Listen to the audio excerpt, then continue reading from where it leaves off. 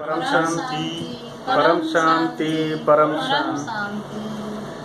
हमारे साथ आज दो हमारे मेहमान मेरे नीलाकंठ दीक्षित भाई साहब हैं और हमारे सिप्रा बहन हमारे साथ हैं।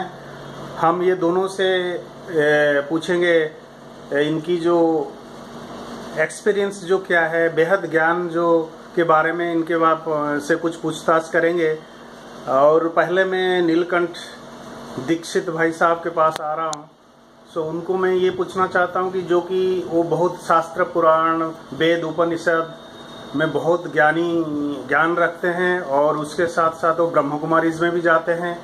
लेकिन ये बापूजी का बेहद का ज्ञान कम से कम छः महीना से मैं उनको दे रहा हूँ। बीच बीच में वो हमारे घर में आते हैं, आते जाते हैं, उनको हम सुनाते हैं। लेकिन अभी मैं पूछना चाहता हूँ भाई साहब, आप जो है ना, बापूजी का जो ज्ञान आपने सुना है, जो अभी जो बेहद की, बेहद का बेहद बेहद के बेहद की समय है, अंतिम समय है, सो आप क्या आपको क्या लग रहा है? ये जो ज्ञान और ये ज्ञान जो स्थिति, अभी जो हमारे जो सिचुएशन जो है, बापूजी का जो ज्ञान के बारे में आप पहले जो सीखे थे, उसके बीच में क्या आपको क्या लग रहा है? क्या फीलिंग है आपकी? मैं जानना चाहता हूँ। हमारी फीलिंग ये है कि हम उस अंतिम सत्य की तरफ़ आगे बढ़ सकते हैं बापू जी के ज्ञान के माध्यम से? क्योंकि ब्रह्मा कुमारी का जो ज्ञान है वो अंतिम सत्य की ओर न ले जा करके हम्म हम्म, मध्य में ही छोड़ देता है।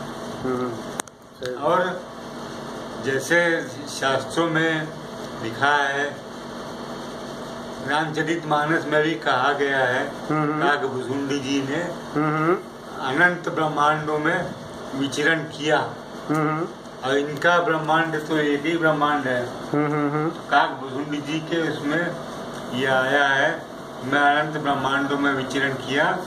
और हर ब्रह्मांड में अपने अपने अलग अलग ब्रह्मा विष्णु महेश थे। बहुत बढ़िया बहुत बढ़िया। लेकिन राम एक ही दिखे मुझको। ओके। राम दूसरे नहीं दिखे।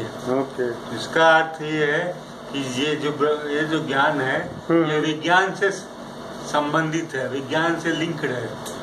अच्छा और एक चीज़ है मैं पूछना चाहता हूँ जो हद और बेहद के बीच में क्या आपकी परिभाषा क्या है? जो आप बता रहे थे जैसे जब अनंत कोटि ब्रह्मांड बेहद के ब्रह्मांड के साथ जो कि एक ही ब्रह्मांड का हम जो तुलना करते हैं तो आपकी परिभाषा क्या है? क्या है? हद और बेहद के बीच में आप डिफरेंस थोड़ा बताएँगे? हद जो है मंडलाकार है। माने एक मंडल के अंदर एक सर्किल के अंदर जितनी चीज़ है ओके वो हद है। ओके लेकिन जो बेहद है हम्म हम्म। वो अखंड मंडलाकार है। यानी कि स्पाइरल जो स्पाइरल में। हाँ, खत्म ही नहीं होता। खत्म ही नहीं होता हमेशा अपना एरिया बढ़ाता रहता है। हाँ और और अंत हाँ। तक जाने की कोशिश करता है। हम्म, बहुत बढ़िया बहुत बढ़िया। दूसरी बात मैं आपको एक संक्षिप्त आपका समाप्त करके मैं अभी सिप्रा बहन के पास जाऊँगा। मैं लेकिन आखिरी एक सवाल करना चाहता हूँ। आपको याद होगा कि हमारे घर में एक संगठित योग हमने रखा था बापूजी का?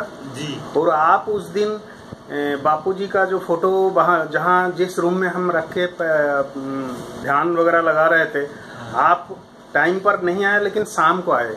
आप बोले कि मैं वहाँ बैठूँगा उसी जगह पर। मैंने बोला हाँ बेशक आप बैठ सकते हैं। लेकिन आप जो उस दिन हमारे घर में आए और बैठे और बापूजी की तरफ़ ध्यान किए देखे और उसके बाद फिर आप एडमिट हो गए मेडिकल में हम लोग गए थे आपको मिलने के लिए और आप जो है क्या अनुभव आपने अपना अनुभव कुछ बता रहे थे? यहाँ जाने के बाद रात में आपका क्या हुआ? रात्रि में मैं अखंड अनंत ब्रह्मांडों में विचरण करने लगा। अच्छा। पहले पाँच ब्रह्मांडों में गया। वेरी गुड पाँच ब्रह्मांड के बाद बारह ब्रह्मांड में गया। बहुत बढ़िया। बारहवें ब्रह्मांड के बाद हम्म, मैंने ध्यान में बैठ गया। अच्छा। तो वहाँ मुझे इक्कीसवें ब्रह्मांड की वो ज्योति दिखाई दी। हम्म हम्म। और तेज ज्योति और वो आ करके मेरे सिर के ऊपर ऐसे हाथ रख रही है। कौन? वो ज्योति। ओके। तो मैंने समझा कि आज जो शाम को बापूजी का मैंने किया है हम्म हम्म। उसका परिणाम ये स्वप्न है मुझको। बहुत बढ़िया। क्लैपिंग कीजिए क्लैपिंग कीजिए इनकी। बहुत अच्छा, बढ़िया। अभी मैं हाँ शिप्रा बहन मैं आपके पास आ रहा हूँ। आपकी आपके बारे में मैं ये कहना चाहता हूँ आप जो है इंडियन एयरफोर्स में करीब चार पाँच साल जो है ना, पतंजलि योगा टीचर थी और आप ट्रेंड थी और उसके बाद जो है ना, आप वहाँ से जब हम एयरफोर्स से आ गए बाहर आ गए तब आप जो है हम लोग भक्ति मार्ग में साईं बाबा को पूजा कर रहे थे और हम जा रहे थे, शिरडी जा रहे थे बार बार और उसके बाद धीरे धीरे आपने मुझे एक बार पूछा था मुझे कहाँ दिखाओ? ब्रह्म कुमारी का आश्रम कहाँ है? मैंने बोला 1985 में मैं जब आया था दिल्ली में मैं देखा था कहीं एक ये है मैं ढूंढ के मैं आपको वहाँ तक पहुँचाया। लेकिन अ, उसके बाद जो है ना आप ब्रह्म कुमारी में मेरे से आगे बहुत दिन से हैं। और उसके बाद अभी छः महीना से पहले लास्ट सिक्स मंथ जो है ना आप बापूजी के साथ जुड़े हुए हैं। और बापूजी को भी अहमदाबाद में देखें, दो बार ऑलरेडी बापूजी को देख चुके हैं, ठीक है?